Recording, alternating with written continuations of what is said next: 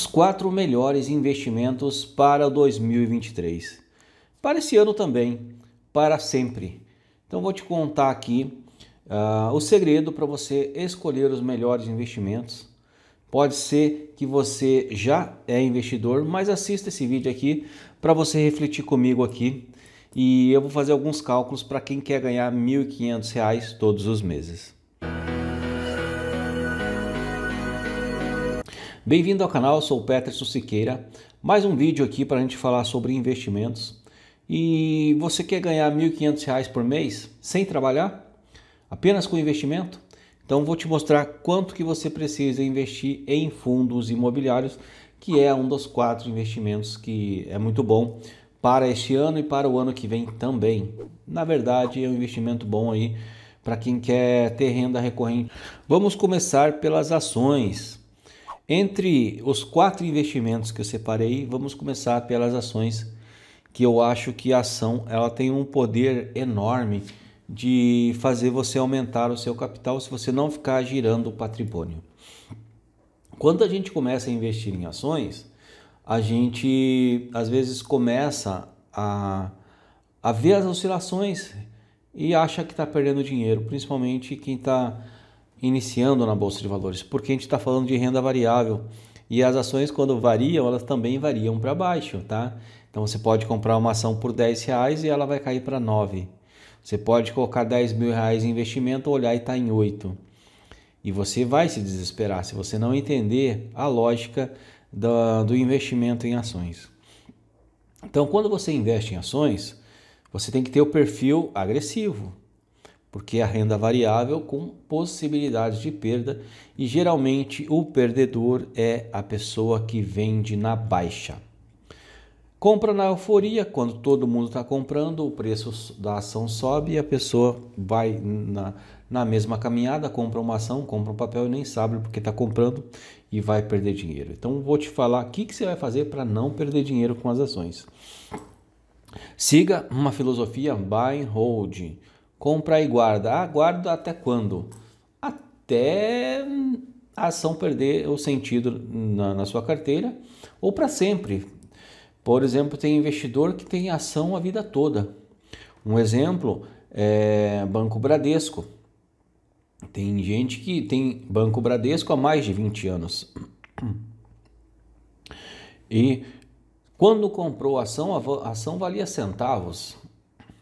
Hoje vale reais. E quantos de dividendos uma pessoa não recebeu do Banco Bradesco nesta jornada? Então, quando você for investir em ação, que é um dos 12 investimentos muito bons, saiba que você tem que saber qual é o tipo de ação que você vai colocar na sua carteira. E para isso tem alguns setores que são muito seguros para se investir, né? São os setores mais seguros. Aqui a gente está falando de bancos, elétricas, saúde, seguros e saneamento. Então, por exemplo, se você quer investir em ação de bancões, grandes bancos, Quatro, quatro tem que estar tá aí na sua lista para estudo. Itaú, Bradesco, Santander e Banco do Brasil.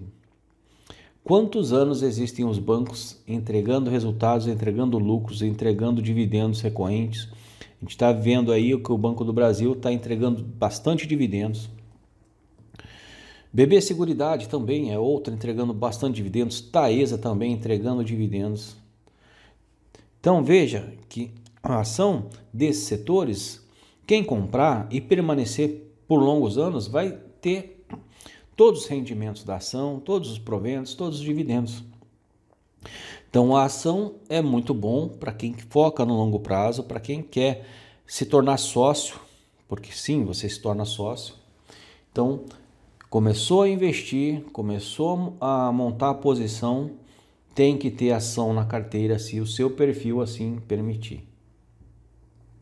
Tem gente que não suporta olhar um, uma ação e ver caindo. Esse daí é o perfil mais conservador. Para o conservador, o ideal é ter dinheiro na renda fixa, poupança até mesmo, ou comprar imóveis, porque não vai dar certo com ação, vai se emocionar e vai perder dinheiro. Então, ação é para quem entende do que está fazendo, tá? Um segundo aqui é, fundos imobiliários. Então, fundos imobiliários te dá receita mensal isento de imposto de renda. E eu preparei é, um post lá no Instagram falando de alguns fundos imobiliários que você pode estudar e montar uma carteira, não com os que eu vou falar agora, mas com os que você achar que valem a pena e você terá então R$ 1.500 se seguir uma carteira modelo que eu preparei, sugestão de estudo, tá? Não é recomendação de compra. Antes de comprar, estuda o ativo. Por exemplo, se você quiser receber R$ 1.500 de fundos imobiliários, você pode comprar alguns fundos. No caso aqui eu separei o, o TRXF11, você tem que comprar 250 cotas. Você pode comprar o DEVA11 mais 300 cotas, o CNCI11 300 cotas, Vino 11 500 cotas e VISC 11 500 cotas. Comprando, por exemplo, esses ativos, você teria investido 159.217 e esses 159.217 te dariam um retorno mensal de R$ 1.500 de proventos isentos de imposto de renda. Então veja que é possível você ter rentabilidade, é possível você viver de renda, desde que você tenha uma carteira estruturada neste sentido, tá? Então monte uma carteira com os ativos de sua preferência, os ativos que você achar bacana. Então, as ações eu te falei aquelas dos setores mais seguros. Fundos imobiliários eu te dei algum, um exemplo de carteira para você ter rendimento mensal. Lembrando que as ações elas pagam dividendos algumas a cada três meses e fundo imobiliário todo mês. Então veja, você estruturando uma carteira dessa forma, com a renda variável, você vai ter aí os seus proventos.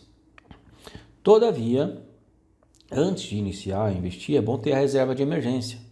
E onde é que você deixa o dinheiro de reserva de emergência? Na renda fixa. Pode ser um CDB, o Banco Inter, né? Quem quiser operar pelo Banco Inter, ele é um banco digital, praticamente tudo gratuito e com home broker, ou seja, você tem um banco e uma corretora num único aplicativo. E lá no Banco Inter, eles te oferecem CDB, LCI, LCA, Tesouro Direto, poupança uma infinidade de, de opções de você investir. E a renda fixa, com a taxa Selic a 13,75, está muito atrativa. Tem muita gente ganhando dinheiro praticamente sem risco. Então é uma oportunidade. A, a renda fixa deve fazer parte de uma carteira de um investidor, porque é lá que vai ficar o dinheiro da reserva de emergência e reserva de oportunidade. E, e qual é melhor, o CDB ou o Tesouro Direto ou o que? Depende. Às vezes uh, o rendimento é pouco num CDB para um LCI, um LCA. Então depende, mas eu acredito que tem que ter as seguintes características: resgate automático, é, rendimentos sempre constantes, pouco, mas vai ter e tem que te dar segurança e tranquilidade. Na reserva de emergência, na renda fixa, você não pode ficar com medo de perder. Lá não é lugar para perder. Lá é lugar para você ter a sua segurança, o seu colchão financeiro.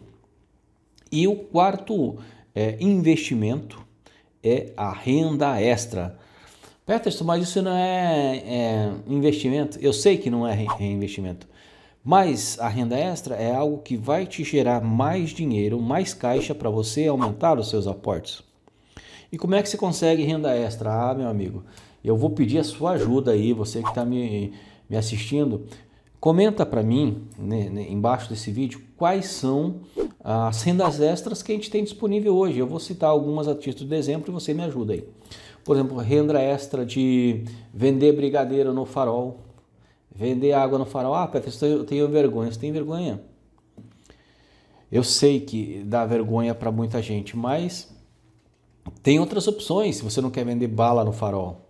Você pode vender alguma coisa na internet, criar uma página, fazer um dropshipping, mas cuidado com as pirâmides, hein? tem muita gente que, que mente resultados, fica esperto. Mas você pode criar algo digital, ser afiliado, tem várias opções, fazer hora extra no trabalho. A renda extra é você que vai escolher. E se você consegue escolher uma renda extra com algo que você gosta, muitas vezes a renda extra transforma a fonte principal de dinheiro. Eu conheço gente que começou fazendo renda extra com alguma coisa que gostava, foi se tornando grande, virou um empresário e a renda extra se tornou a fonte principal de dinheiro. Então você tem que ter mais de uma fonte de renda, tá? A fonte de renda principal é o nosso trabalho. A gente trabalha, tem uma fonte de renda, mas precisamos ter no mínimo mais umas duas, três fontes de renda. Quando você investe em ação, você já tem uma fonte de renda. Quando você investe em fundos imobiliários, você tem uma fonte de renda. É... E um trabalho extra é a terceira fonte de renda. Vamos fazer mais fontes de rendas para aumentar os aportes? Fala para mim aí quais são as ações que você mais gosta, quais os fundos imobiliários que você mais gosta e o que, que a gente pode fazer para ter uma renda extra. Compartilhe esse vídeo aí com seus amigos no WhatsApp. Sou Peterson Siqueira e te vejo no próximo vídeo.